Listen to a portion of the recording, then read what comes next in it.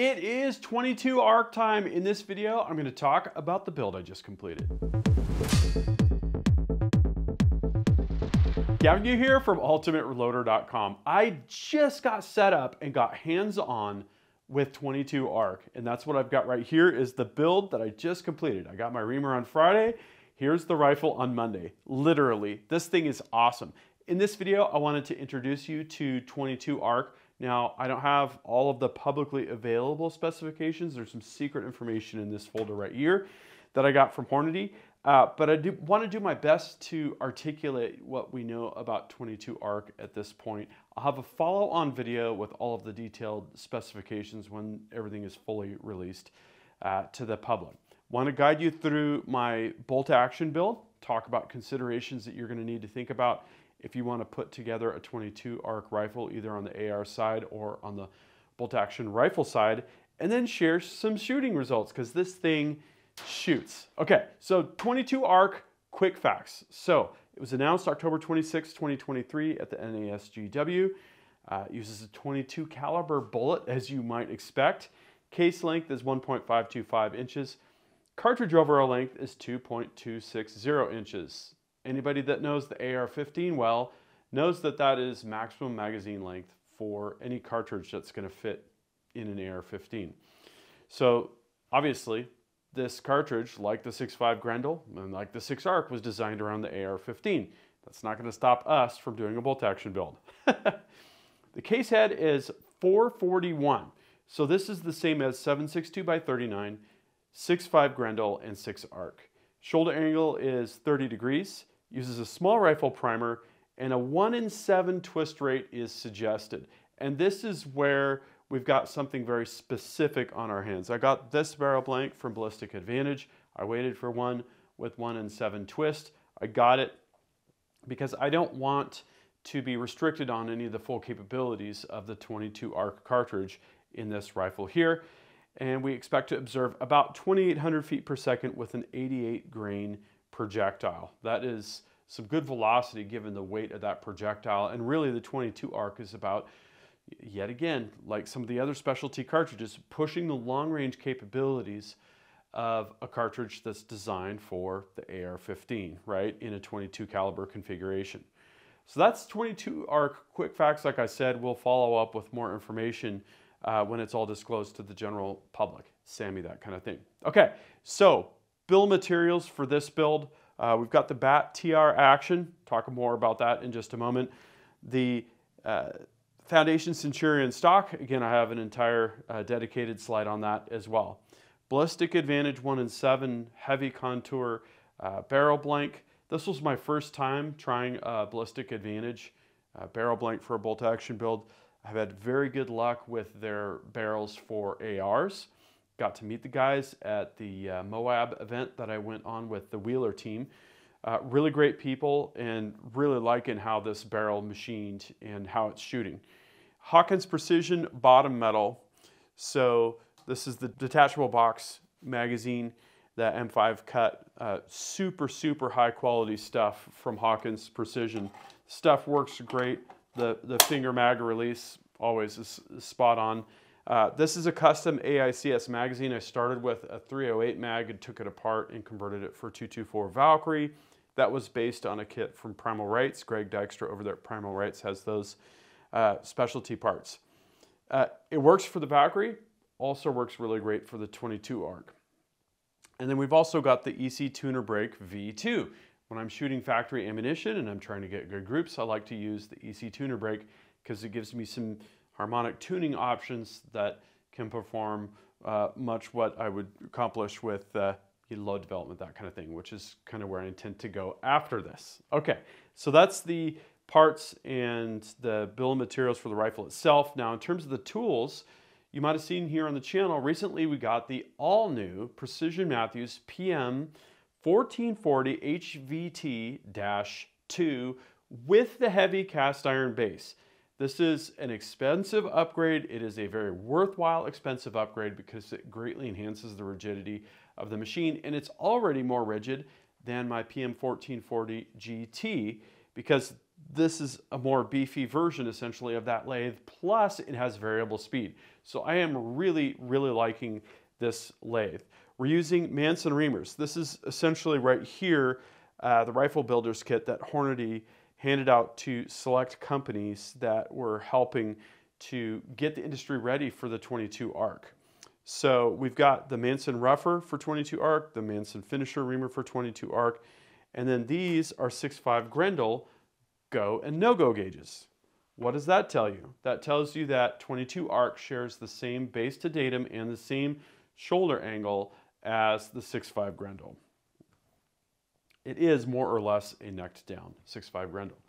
So uh, that's the reamers and gauges. Again, that was a part of the, the Hornady Rifle Builders pack as a part of the private preview. Uh, the other part of that was the information that is in this folder here. Okay, so we've also got the rigid reamer holder. Now, if you're really interested in chambering rifles, you're gonna wanna check out the video that I filmed at Bruce Thom's garage. Bruce Thom is the owner of Bat Machine, maker of this action right here, and he has gotten me absolutely hooked on this methodology of machining a rigid reamer holder in place. You put a drill in your three jaw chuck, you drill it out, and then you put a boring head and you do single point boring to bore this absolutely collinear with the lathe spindle. Okay, so that's going to do two things. This holds onto your reamer more securely, more rigidly than really any other kind of reamer holder out there. If it's a floater or if it's an adjustable reamer, any of those things aren't going to be this rigid. And then this also accounts for any alignment uh, errors between your tailstock and your spindle. You can hear the difference when you're cutting a chamber with one of these rigid reamer holders. The only downside here is that you need an incredibly precise fit. Do you see that?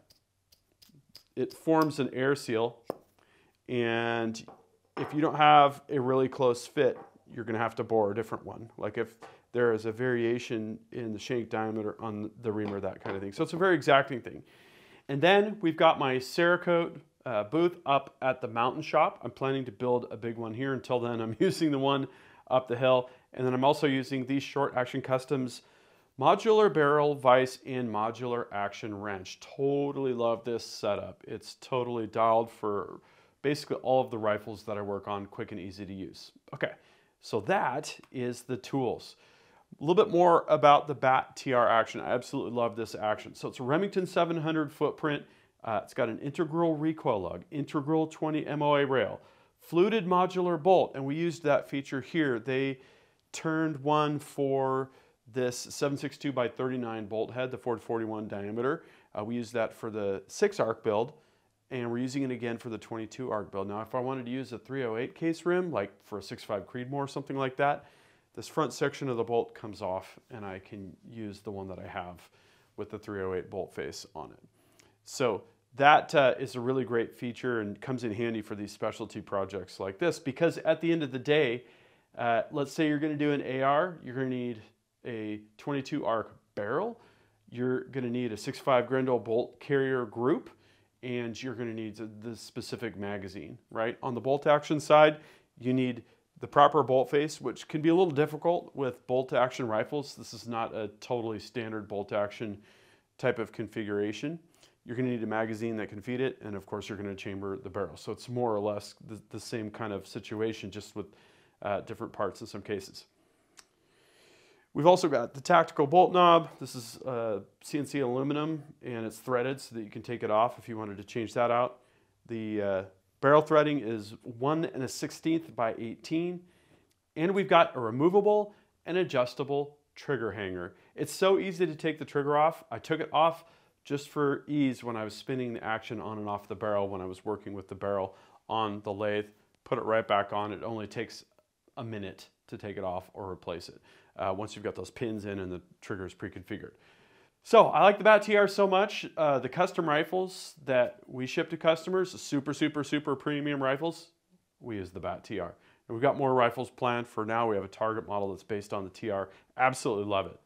Okay, Foundation Centurion Micarta stock. I've got uh, a couple videos covering this.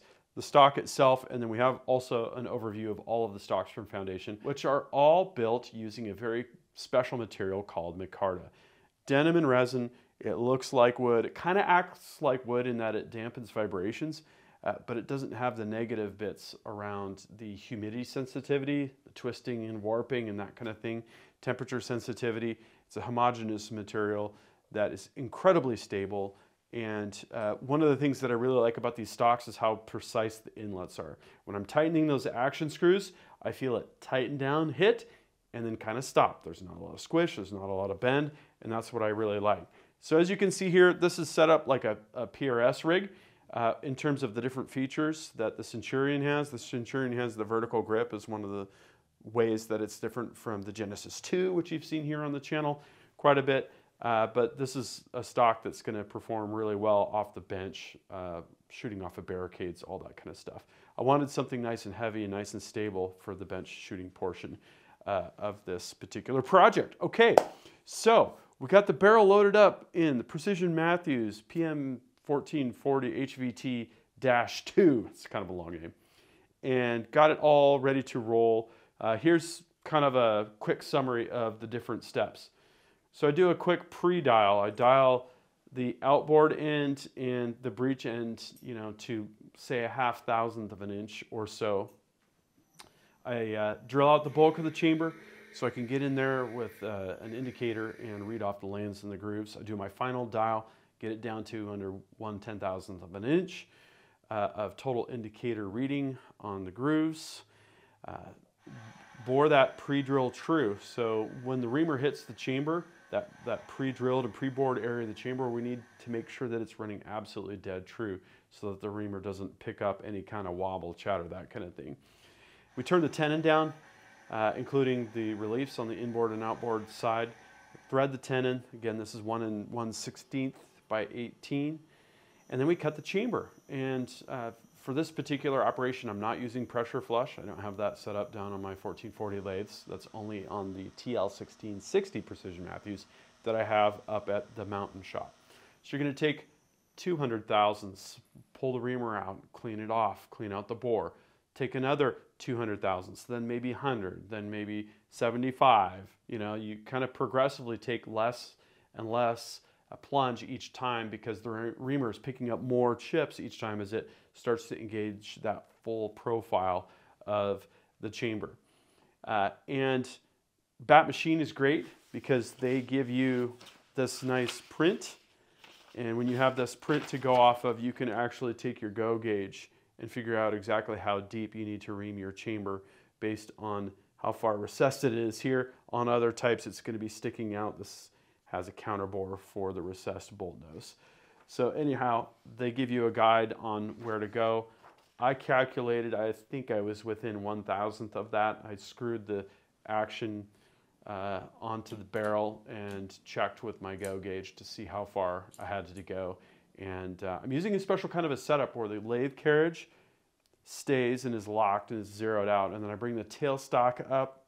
It contacts the carriage in a very specific spot with the hitting point, and then I use a tailstock DRO, digital readout, to know exactly how uh, relatively deep the plunge is for that chambering reamer, and then I can figure out, based on the gap between the receiver and the barrel shoulder, how f- much further I need to go to be at zero, right? And then I have to count for the crush of the barrel when it's tightened, that kind of thing. Uh, this is one of the exacting parts, one of the super critical parts, is cutting the depth of the chamber for proper headspace. So after that's done, uh, go ahead and do any finishing and polishing. Uh, at this point, the breech end is done. Then I took the barrel out, flipped it around. I actually cut about an inch off the end, dialed it in. Uh, you could part off the end. I used a bandsaw to cut the barrel down to length faced off the end, zeroed my z-axis, turned the tenon down to the appropriate diameter. Now for this, I could have gone with either half 28 or 5 8 24. I chose to go with 5 8 24 just because I have a lot of muzzle devices that are set up to use that. And if I do have need for a 22 caliber specific muzzle device that uses half 28, I can always turn this down uh, to half 28 after the fact. Uh, 5 8 24 is just kind of our standard, uh, so that's what I tend to go with. Cut the thread reliefs, thread the muzzle, cut the recess.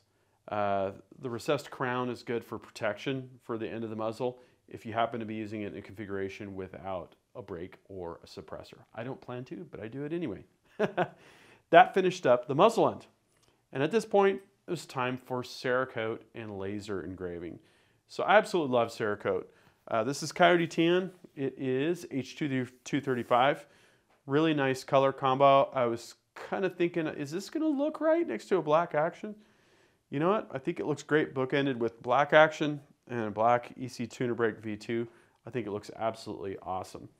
Uh, so Cerakoting barrels is not rocket science, but it does require a high level of attention to detail. I do not coat threads typically, and that is true on the muzzle end and on the breech end. And this is stainless steel, so it doesn't even matter. You don't need any kind of corrosion protection.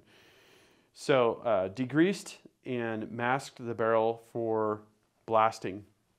Right, we're going to take 100 grit aluminum oxide in a blasting cabinet and blast it to give the surface a profile.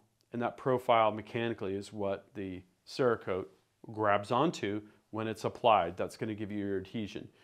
Then, after the blaster, unmask the barrel, clean everything off, remask it, uh, and rack it. Racking it is getting it hung up where you can get it in front of your filter box and go ahead and spray it. So I had the uh, H235 on a mixer for about a half an hour, uh, mixed it all up in the gun, applied three coats, nice thin coats, uh, let it flash for 15 minutes, and then threw it in the oven for a two hour cure at 250 degrees Fahrenheit. Uh, the next morning, I took the barrel down to the shop, tightened it down, checked headspace, and uh, engraved what you see here with the 50 watt fiber laser. This is ATF compliant. Goes about 8 thousandths of an inch deep. I actually threw a chunk on the lathe one time and turned it down to see exactly how deep my engraving was for these particular settings. Uh, nice and clear. I like to provide all of the details on the barrel, the finished length, twist rate. That way, if I'm going to check load data, I know exactly what I need for bullet weight and I can evaluate my performance relative to the barrel length without having to measure. We have a ton of rifles here at Ultimate Reloader, so this helps us tame the chaos, if you know what I mean. okay, and uh, for installing the barrel, definitely love that. Short Action Customs Bravo Barrel Vise. Honestly, I think installing the barrel is kind of fun. I know I might be a little bit weird in that way, but from Short Action Customs, I have this nice pedestal for my Bravo barrel vise. The Bravo is the brute. I also have the modular. I have that up at the mountain shop, and it's awesome. The but the Bravo man, it's just like an absolute tank.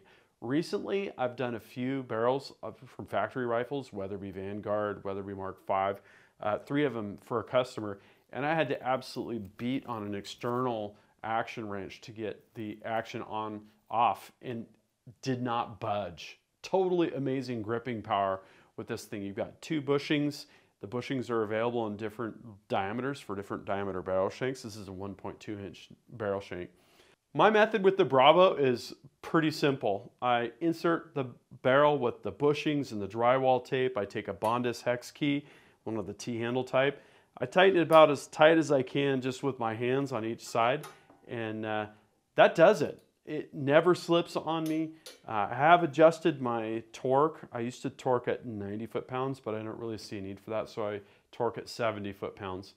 A uh, little easier to get off, and then also there's a little bit less crush, so a little bit less difference between hand tightening on the lathe and fully tightening uh, afterwards. Anywhere in that 70 to 90 range, though, I don't think there's a big difference in, in terms of clocking position or anything like that. Uh, just a slight tweak that I've done. Uh, the Short Action Customs Modular Action Wrench, I have the number 4 head, which is for the BAT TR action, and a bunch uh, as well for other actions. And that's why I like it. Instead of having a whole bunch of action wrenches in you know, a drawer, you just have the little replaceable modular heads, which is, is really cool.